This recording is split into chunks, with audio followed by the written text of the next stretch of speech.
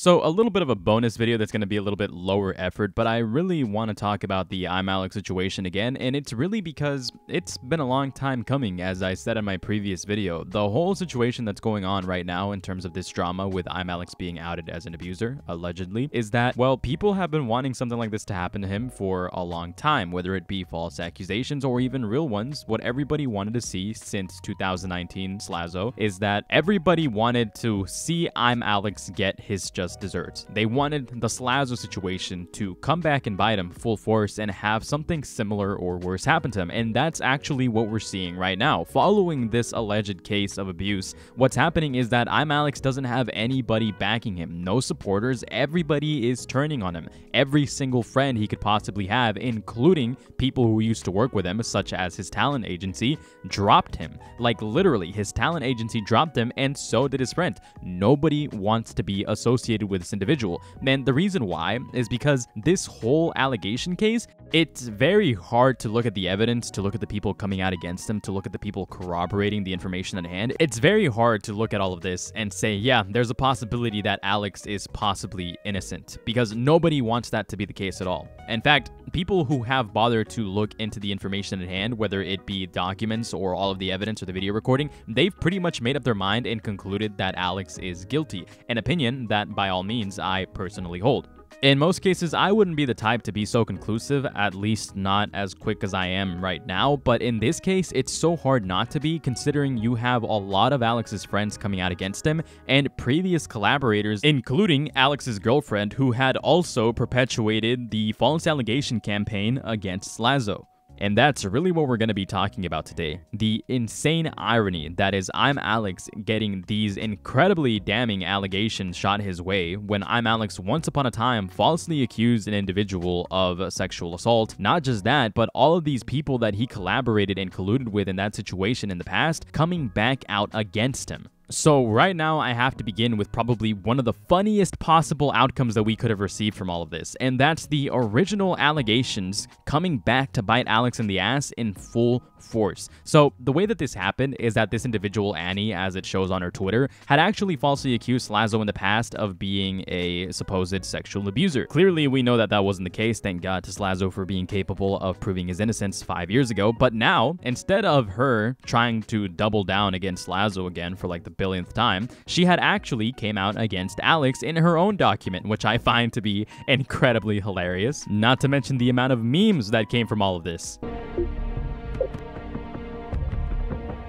I'm gonna fucking bash your fucking head against the wall with a brick if you don't shut the fuck up. Because this one, genuinely, this one, this one, you. So let's take a look at what she has to say. She starts the document by saying, My experience with I'm Alex. Though we never confirmed it to the public because I personally like keeping my relationships private, I dated Alex from June 2017 till March 2018. It was the most toxic relationship I've ever been in, and I was lucky to get out of it when I did. So, right off the bat, even though she's not that credible, and we should really be taking what she's saying with a grain of salt due to the false allegations she had done in the past, she's already corroborating the fact that Alex is in fact a very toxic individual as seen in Alice's initial document. When we were dating, though, he was from England and I lived in America, we were pretty much never apart for longer than a week. We stayed in Europe for a couple of months and then went to America for six months. He couldn't stay six months straight due to the visa implications, so he stayed three months, flew back to England for a few days, then came back to America for another another three months. So already this also corroborates something that Alice had said in her initial statement, which is that Alex is incredibly clingy and cannot fathom being away from the person that they're interested in for longer than a couple of days, as we see. I mean, to fly to America back and forth like that must require some extreme amounts of dedication. I mean, let's be real here. The amount of money that that'll cost, the amount of pollution that you're doing. I mean, it's not easy to do that over and over again, but clearly he had some motives behind it. So, I mean, let's just leave it at that. I don't want to insinuate anything. How much of an incentive is money?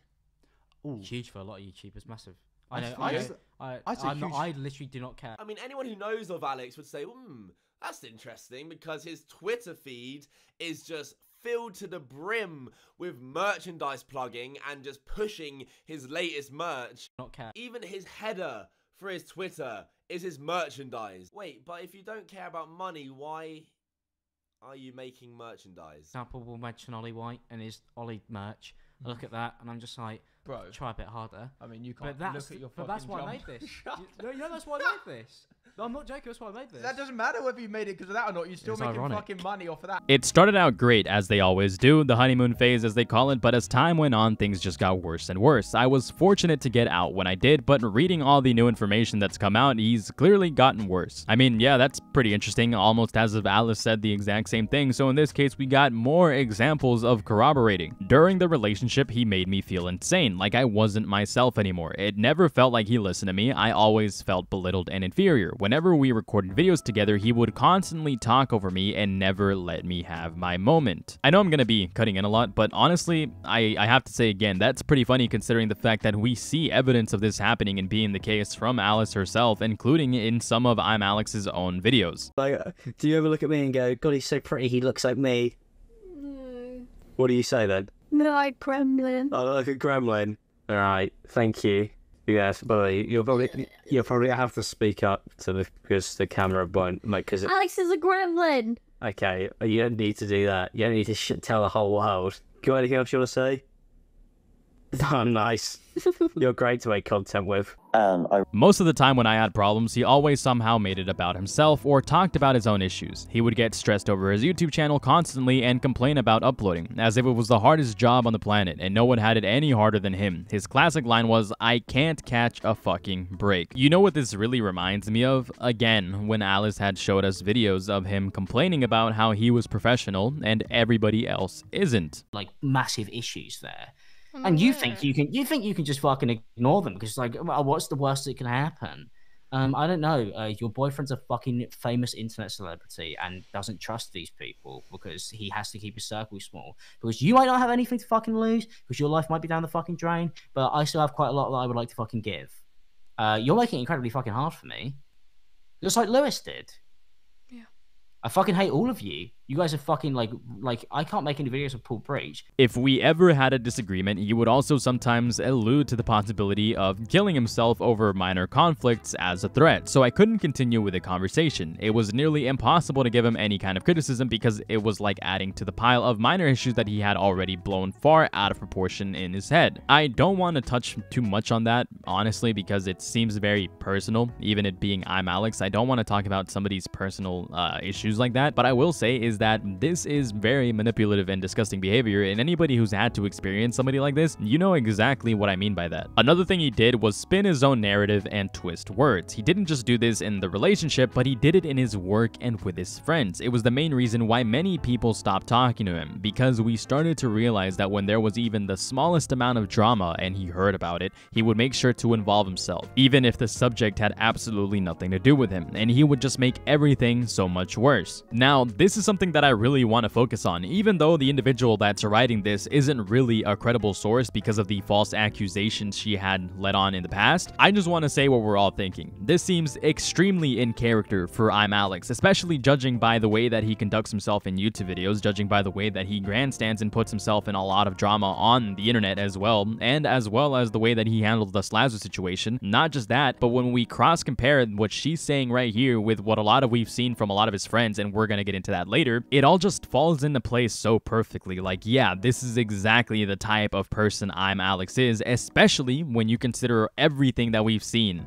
During our relationship, I bought him and I matching Alex and Annie bracelets for Valentine's Day because I was like, oh, neat, a company with both our names. You can see him pressing the heart on the bracelet to his lips in his Back to Nothing video, which he has since taken down from his channel. And this video was released as a response to me breaking up with him. He uploaded this video after I stopped talking to him as a way of trying to guilt me into replying to him. He did to me what he has done in his relationship with Alice, where he would fly off the handle and get mad, then act all apologetic and said to try to get me to feel sorry for him and forgive everything he had said and done.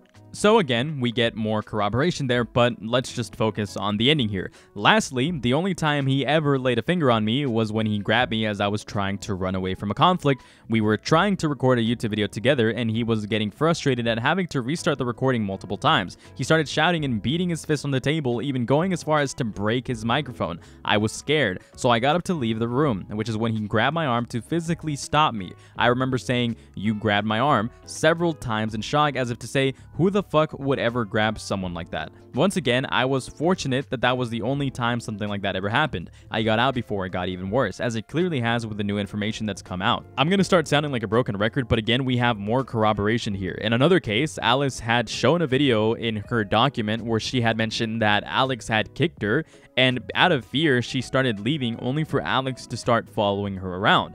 Over what? I don't understand. Like got anything to be stuck up over. But for some reason something isn't good enough for you. You get to do whatever you fucking want all day. It's like, and then you look like a fucking miserable fucking little cunt all the time.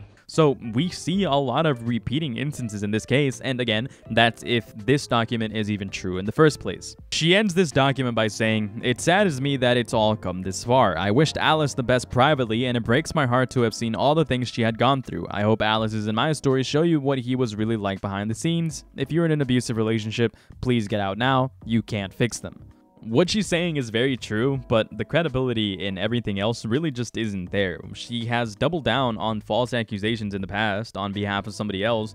Who's to say that what she's doing right now is really authentic or to be believed? What if she's just doing this for attention, seeing as this is in the spotlight of drama and now we're all going to be talking about it? I mean, either way, I don't really have a reason to believe this individual, but what I will say is that if this actually did happen, then it just goes to show that Alex has always been a terrible individual, even though he's pretended to be this goody two shoes for the longest time. Although, take that with a grain of salt, feel free to disagree with me or come to your own conclusions. At the end of the day, a lot of this information is just alleged, which brings me to the next part of this video, which is going over how a lot of his friends and previous workers and people who collaborated with him have thrown him under the bus and completely denounced him. So, more recently, we have this statement from Will and E. I believe that's how you say his name. It says, Re Alex. Firstly, I really hope Alice is doing well and commend her massively for having the courage to get that out there. As Mia mentioned, there were rumors of this behavior earlier last year. Myself and a few others haven't had contact with him since